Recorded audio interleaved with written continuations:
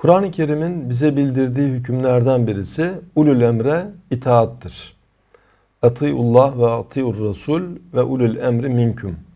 Allah'a itaat edin, Resul'e, peygambere itaat edin.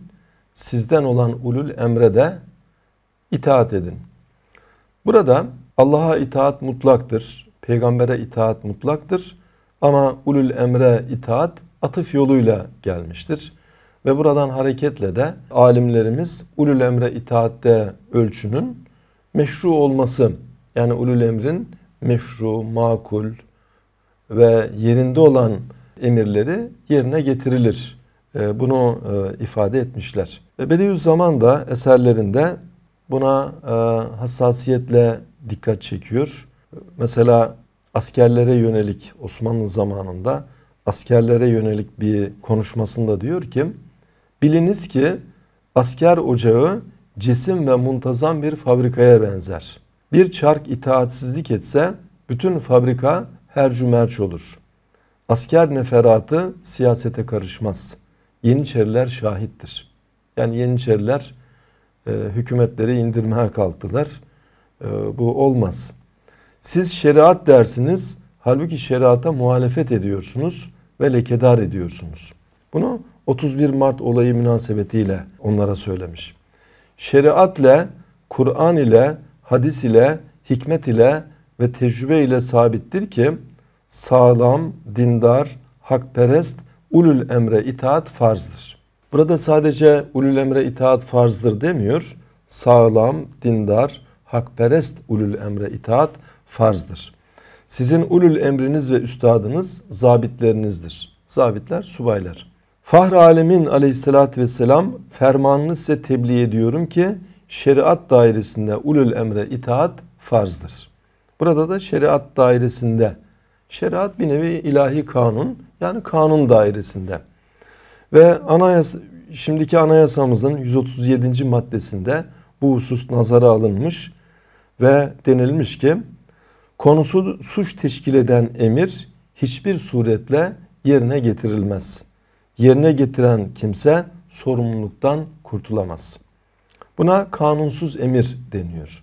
Yani kanunda yeri olmayan bir emir yerine getirilmez. Dolayısıyla memur durumunda olan kimse amirin sözünü normalde yerine getirecektir. Ama kanun dışı bir şeyi istemişse bu yerine getirilmez. Yerine getiren e, sorumlu olur. Peygamberimiz Aleyhisselatü Vesselam bunu şöyle bir ölçüyle bize e, bildiriyor. La ta'ate mahluk e, fi masiyetil halik. Halika isyan olan yerde mahluka itaat edilmez. Yani demek ki e, ulul emre itaat evet bir asıldır ama ulul emrin emrinin de yani idarecinin emrinin de makul, meşru, kanuna uygun bir emir olması gerekmektedir. Osmanlı'nın son zamanında meşrutiyetin ilanı ile beraber gayrimüslimlere resmi görev verilmesi gündeme geliyor. Bediüzzaman'a bunu soruyorlar. Diyorlar ki şimdi Ermeniler kaymakam ve vali oluyorlar nasıl olur? Ee, bu geçtiğimiz günlerde de Türkiye'de e, ilçelerden birisine Ermeni asıllı birisi kaymakam olarak atanmıştı.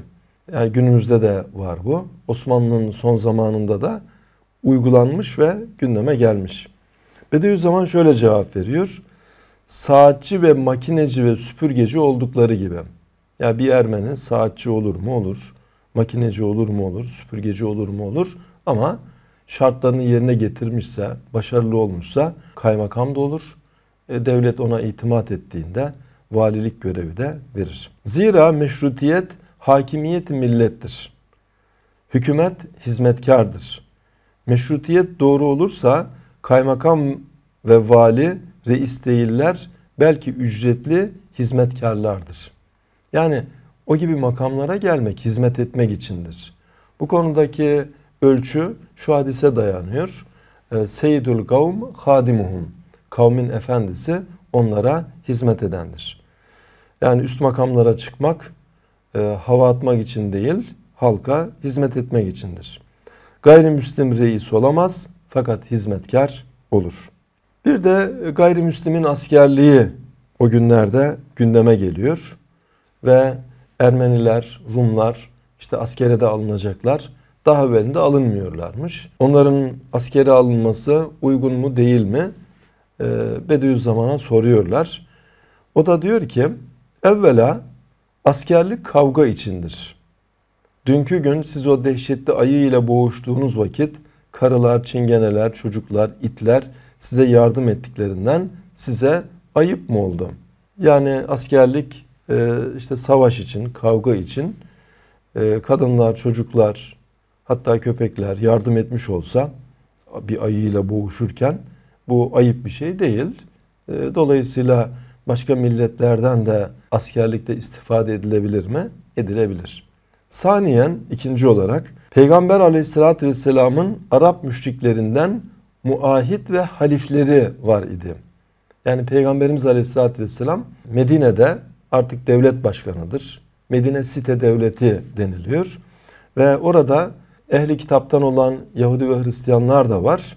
Öte yandan kitapsız Arap müşrikleri de var. Peygamber aleyhissalatü vesselam hiçbir kitapla bağı olmayan Arap müşrikleriyle de vatandaşlık sözleşmesi yapmış. Yani diyelim Medine'ye bir saldırı olursa beraber savunacaklar. Veya onlara bir saldırı olursa yine Müslümanlar onlara yardım edecek. Beraber kavgaya gider idiler. Bunlar ise ehli kitaptır. Yani kitapsız da bile e, bu şekilde bir anlaşma yapılabiliyorsa e, Ermeniler ehli kitap, Hristiyandır. Dolayısıyla benzeri anlaşma yapılabilir. Orduda toplu olmayıp müteferrik olduklarından bizdeki ekseriyet ve kuvvet-i hissiyat mazarrat mühimmeye karşı set çeker. Yani burada tabi askere alınmamasında hatıra gelen bir vehim. Tabi bu gerçek de olabilecek bir durum. O da nedir? Yani bunlarda kendi ırkları ile ilgili damar devreye girip de acaba hıyanet edebilirler mi? Hatıra gelebiliyor.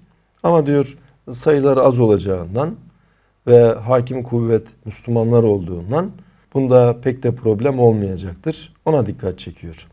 Salisen üçüncü olarak düveli İslamiye'de, İslam devletlerinde velev nadiren olsun gayrimüslim askerlikte istihdam olunmuştur. Yeniçeri Ocağı buna şahittir. Yani Osmanlı Yeniçerileri kullandı. Bunlar devşirmeydi. Hristiyan ülkelerden devşirme askerler küçükken alınıyor, yetiştiriliyor ve Yeniçeri Ocağı'nda istihdam ediliyordu. Rabian, neslen ve serveten tedennimize ve gayrimüslimlerin terakkisine sebep askerliğin bizde münhasır olmasıydı. Yani Osmanlı savaşçı e, bir hayat yaşadı. Ta kuruluşundan son zamanına kadar e, Osmanlı'nın tarihinde çok ciddi savaşlar var.